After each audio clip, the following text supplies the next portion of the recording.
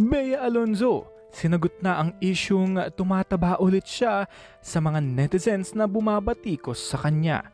Narito ang buong detalye. Thank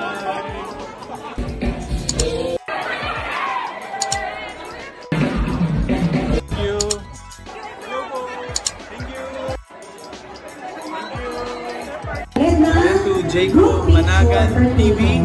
So, Uh, yung please subscribe. Patuloy pa rin siyang tinutulugsa at pinuputakti ng mga bashers ng mga negative comments lalong-lalo na sa kanyang katawan ngayon dahil narito at ibinalita niya at ibinahagi niya sa kanyang latest vlog. Narito ang kanyang sinabi. Quote unquote, I started doing tennis with Dom but unfortunately, si Dom kasi badminton player siya. So dapat sabay kami. Natuto pero si Dom sobrang galing na niya so hindi na ako sumali uli kasi feeling ko I'm holding him down. Aside from having PCOS, polycystic ovary syndrome, I recently was also diagnosed with having hypothyroidism so that's the reason behind my gaining weight. Wish me luck, sana matapos na siya. Sa mga nagsasabi dyan na ba't ang taba na daw ni Bea, yun po yung reason. Pasensya na kayo. End of quote. Hindi naman nag-iisa si Bea Alonzo dahil pati na rin ang kapuso star na si Carla Abellana.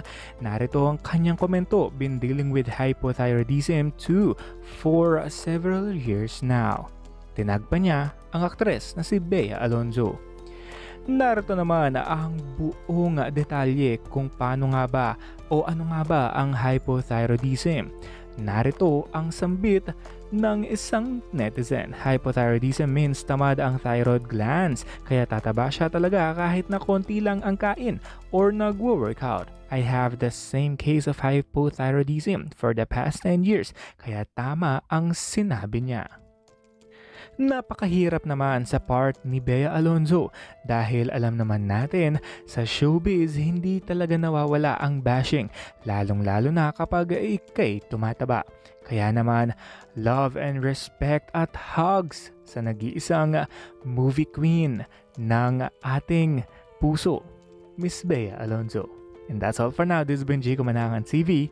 Thank you for watching. Please like and subscribe to Jacob Manangan TV.